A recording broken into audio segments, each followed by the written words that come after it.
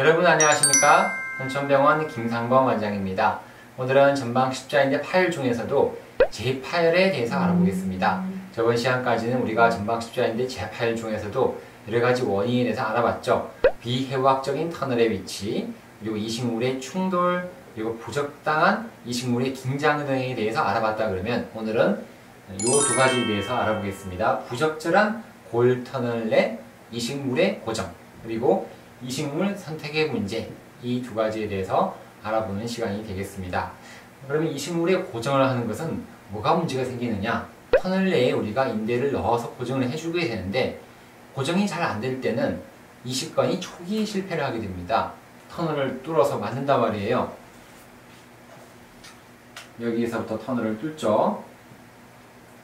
이렇게 터널을 뚫어서 이렇게 인대를 이렇게 넣어주게 됩니다. 이 안에 우리가 이식물을 넣어요. 이식물이라는 자각은, 타각은 이렇게 넣 어, 주게 되는데 여기서 고정을 해주는 방법이 여러 가지가 있어요.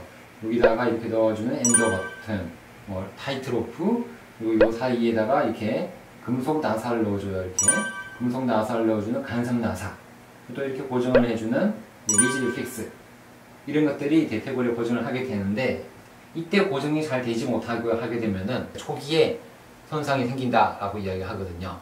여기도 마찬가지예요. 고정을 해주게 되는데 경골도 근데 이렇게 이식관과 터널 사이에 통합을 한 데까지는 최소 6주 평균적으로는 3개월 정도 걸린다 그래요. 3개월 꽤 걸리죠? 3개월까지는 조심하라는 거죠.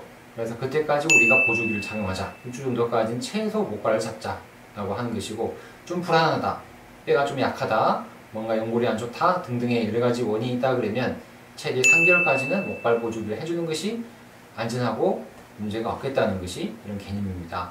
뼈 사이에 이식건이 붙는 거예요. 그 사이에 터널과 이식건이 사이 이게 통합되는데 얼마나 걸린다고요? 3개월 정도 보라는 거죠. 그럼 우리가 고정을 해줘야 되는데 강한 고정을 해야 됩니다. 충분한 고정을 해야 되는데 충분한 고정을 해줘야만이 이식근이 위치를 변화를 막아요. 이렇게 예, 만일에 고정이 잘 안 된다 그러면 흔들거려요. 위로 흔들, 좌우로 흔들, 흔들 흔들. 그네 타듯이 위로, 아래 위로 움직이고 좌우로 움직이게 되는 그렇게 되면서 이제 문제가 생기기 때문에 변화를 막자, 이식근의 이동을 제한시키자. 그렇게 강하게 되면은 우리가 재활도 빨리 할 수 있어요. 조기 재활, 강한 재활을 할 수가 있죠. 근데 만일에 좀 뭔가 부족하게 고정이 됐다, 약하다, 뭐 그렇다 그러면은 빨리 재활을 못해요. 왜냐하면 빨리 재활을 하게 되면 이식물이 터널 안에서 흔들거려요. 흔들거리게 되면은 나중에 안 좋은 결과들이 실패를 하게 되겠죠. 초기 실패하는 결과가 나타날 수 있다는 거죠. 수술하고 난 다음에 저한테 오신 분들이 그런 분들이 있어요. 수술한 지 얼마 안 돼서 운동을 했는데 뭐 한 4개월, 5개월쯤 운동을 했는데 무릎이 또 뚝 소리가 나고 뭔가 불안정한 느낌이 들었고 그런 느낌들이 자주 들었다. 그렇게 해서 저한테 다시 또 뭐 5개월 만, 6개월 만에 오신 분도 있고 1년 만에 또 오신 분도 있는데 어쨌든 그런 것들은 초기에 부적절한 골터는 이식물의 고정과 관련된 경우가 많습니다. 이식물의 고정력은 고정물의 종류와 기구의 종류가 상당히 다양해요. 여러 가지 이야기했듯이 근데 그런 종류를 어떻게 쓸 것인가 어, 서전이라 그러죠. 우리가 수술하는 집도의 의사가 어떤 것을 가장 잘 쓰는지가 중요합니다.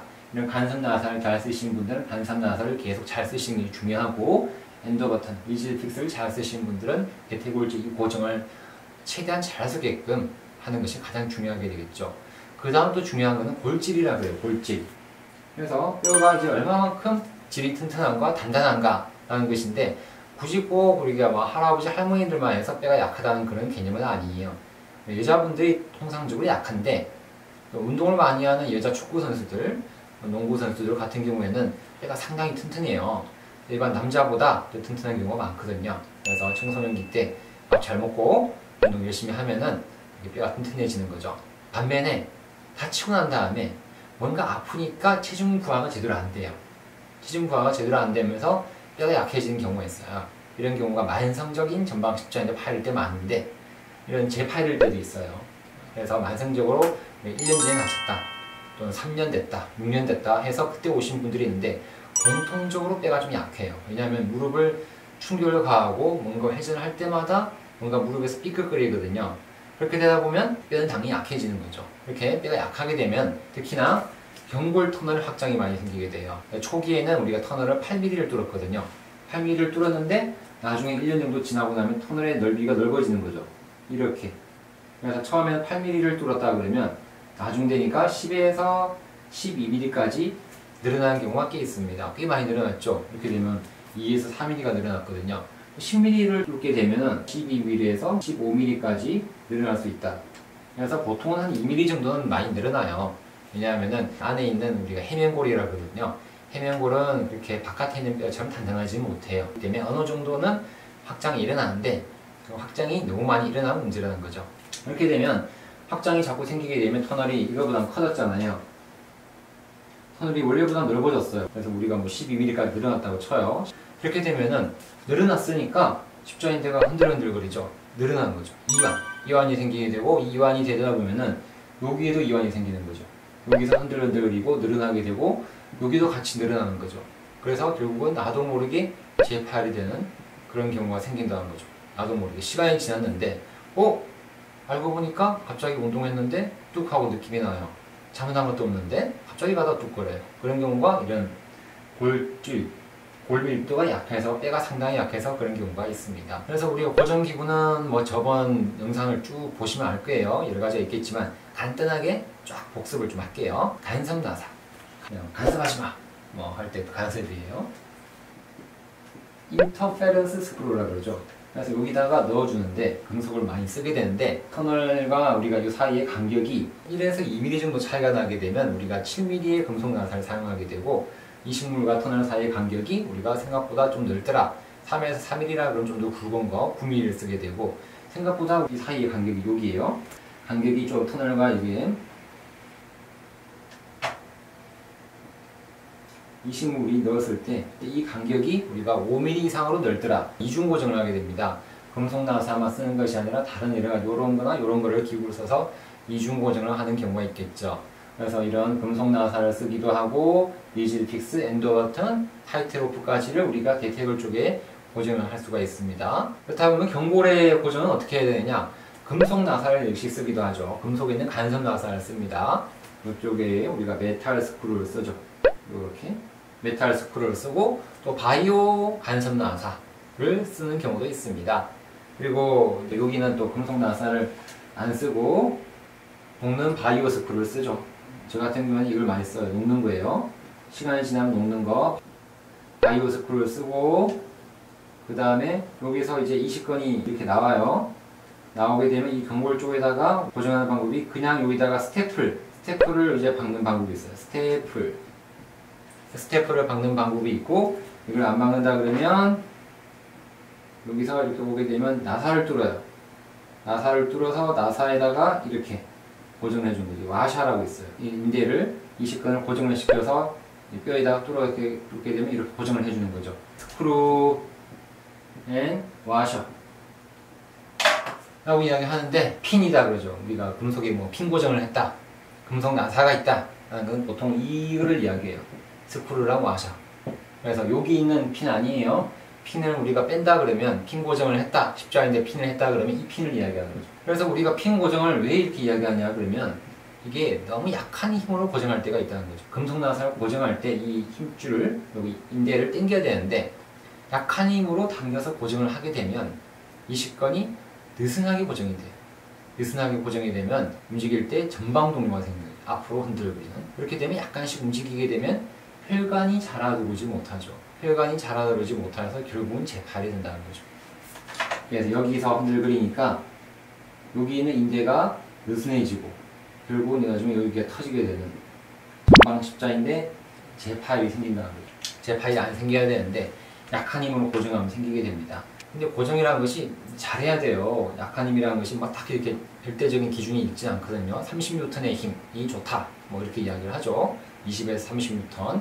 근데 그게 사람이라는 게 똑같이 땡길 수가 없어요. 그래서 수술하는 집도이만 보는 게 아니라 옆에 있는 우리가 도와주는 사람들이 같이 요거를 인대를 tight한지 얼마나 강한지를 같이 다 체크를 해서 다 같이 agree하고 동의를 할 때 우리가 고정을 해준다는 거죠. 그러면 또 이 스크루에다가 고정을 해주는데 스크루 안에 딱 들어가야 돼요. 이렇게 인대가 이렇게 내려오게 되면 스크루로 이렇게 받게 되거든요. 이 사이에 들어와서 인대 고정이 되는데 이 하다 보면 인대가 이렇게 삐져나와요.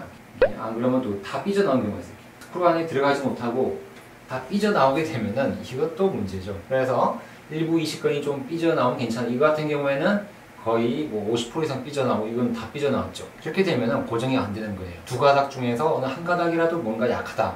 그렇게 되면은 뭔가 문제가 생긴다는 거죠. 보통은 이제 두 가닥을 많이 하게 돼요. 두 가닥을 고정하게 되는데 한 가닥이 약하게 되면 여기가 흔들흔들거리고 두 가닥이 약하게 되면 다 흔들거리게 되겠죠.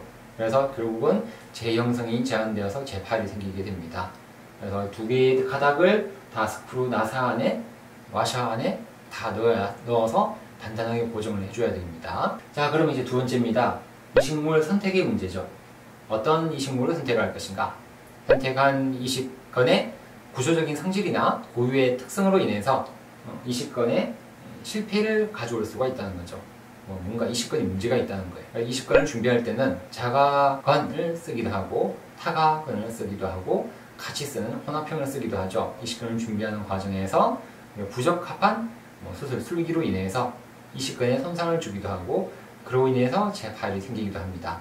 자가건 같은 경우에는 보통 이제 햄스트링 안쪽 허벅지 안쪽에 뒤에는 햄스트링을 떼게 되거든요. 뗐는데 그 햄스트링이 다 좀 튼튼하지 못한 경우가 있어요. 굵기가 좀 얇다든지 뭔가 좀 손상이 있다든지 또 뗐는데 또 다듬다가 뭔가 더안 좋아졌더라 할 경우에는 재파열이 생길 수 있다는 거죠. 또 우리가 골 쓸개근을 쓰기도 합니다. 무릎 앞쪽에 있는 뭐 대퇴사둠을 떼기도 합니다. 어쨌든 자가근 떼는데 문제가 생겼다 그러면은 우리가 또 문제가 생길 수도 있고 타가근 타가근은 조금 많으니까 그런 일은 없겠지만 그리고 타가근을 쓸 때도 아킬레스건 전경골근 비골근 등을 쓰는데 그런 우리가 힘줄에서 뭔가 조작을 잘못하게 되면은 얇게 좀 만든다든지 뭔가 여러 가지 손상을 좀 준다든지 하게 되면은 나중에 이식건의 선택의 문제로 인해서 재파열이 될 수 있다는 그런 이야기가 되겠죠. 터널 문제, 고정의 문제, 이식물 선택의 문제까지를 이야기를 했거든요. 이해가 좀 되셨습니까? 그럼 이해가 되신 분들 손들어 보실까요? 예, 저기도 저기도 저기도 그러면 이해가 안 되신 분들 손 들어 보실까요? 오! 꽤 많이 손 드셨네요. 아, 영상이 조금 어려웠나 봅니다. 아무래도 내용 자체가 좀 어려운 전문적인 내용이잖아요. 고정을 어떻게 해야 되고 이식물은 또 무엇이고 이렇게 복잡하냐? 난 이런 거 자세한 거 알고 싶지 않다. 쉽게 그림으로 설명해 주세요 하신 분들이 있네요. 그래서 영상을 준비했습니다. 계속 집중해서 영상을 보고 이해를 더 도와드리겠습니다. 그럼 영상을 보면서 자세히 더 설명을 드리겠습니다. 이상적 고정이라 그런다면 이 남자분 보세요. 벼랑 끝에 암벽이 매달려 있는데 이거 하려면 어떻게 해야 되겠죠? 강해야 됩니다. 또 단단해야 되겠죠? 안전해야 되죠. 세 가지가 바탕이 돼야 됩니다. 그래서 실패하지 않을 정도까지 강해야 된다. strong. 안정성을 얻을 수 없고 보호할 수 있을 정도까지 stiff. 단단해야 된다. 그리고 빠지지 않을 정도까지 안전해야 된다. 3S라고 그러죠. Strong, Stiff, Secure. 이 세 가지가 중요하겠죠. 수술하는 의사의 서전의 선택이 중요합니다. Graft selection. 어떤 이식물을 선택할 것인가. Graft position. 이식물을 어떻게 위치할 것인가. 터널을 어떻게 뚫을 것인가. Graft fixation. 어떤 방법으로 고정을 할 것인가. Rehabilitation. 재활은 어떻게 할 것인가. 이런 것들을 우리가 다 고민을 의사가 해야 되겠죠. 고정하는 방법은 여러 가지가 있습니다. endo button, 그런 스크루, rigid fix, bio screw, metal screw 등등 여러 가지가 있습니다. 다양한 고정 방법이 있는데요. 뼈 안에서 고정하는 방법, interference screw, 간섭 나사, 간섭하지 마. 바깥에 고정해주는 방법이 요거, 요거죠. Cortical.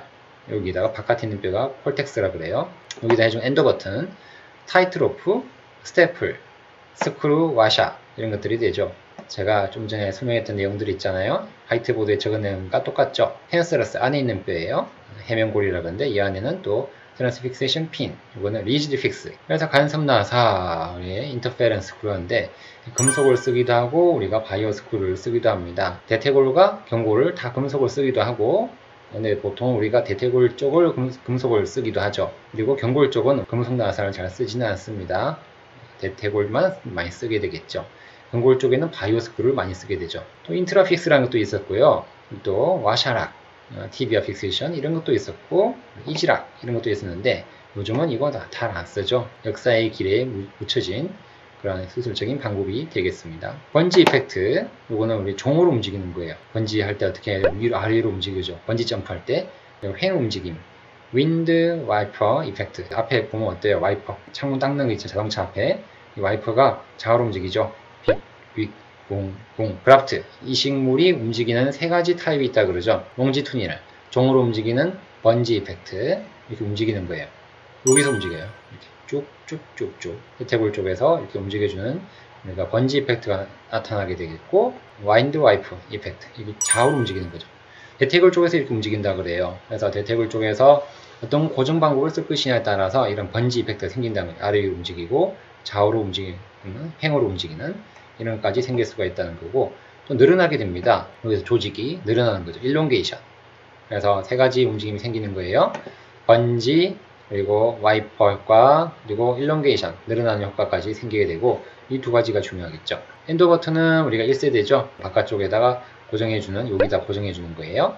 실로 이용해서 고정을 해서 바깥에서 우리가 flip을 탁탁탁탁 당겨보면 고정이 된다는 걸 알 수가 있게 되겠죠. 그리고 그 다음에 나오는 TightRope 요거는 flip이 되지는 않아요. 쭉 올라가서 그냥 탁 하고 고정이 되면 우리가 TightRope 고정이 됐다 이런 것도 최근에 많이 쓰고 있습니다. 터널의 확장 보죠. 우리가 터널이 확장되는 거와 이런 경우에요. 번지 효과, wind wiper 효과 등등으로 인해서 이렇게 터널이 넓어지게 되는 거죠.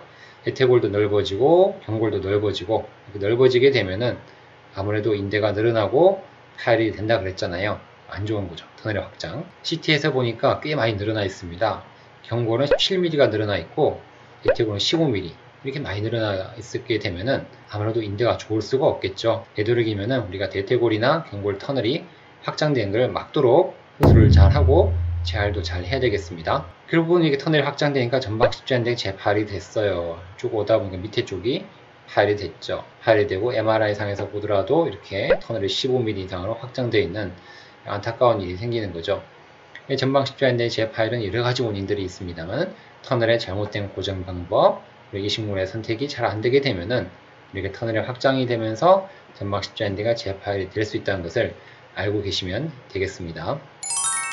네, 영상을 보고 나니까 이제 이런 부분들에 대해서 이해가 다 되셨습니까? 좀 더 이해가 되셨죠? 굳이 다 이해를 안 하셔도 돼요. 이런 부분들이 있다라는 것을 마음속에만 생각하고 계신다 그러면 많은 도움이 되겠죠. 오늘도 전방 십자인대 파열로 고생하신 분들과 제 파일이 되었던 분들 그리고 제 파일이 될 것 같은 분들이 이 영상을 보고 많은 도움을 받았으면 좋겠습니다.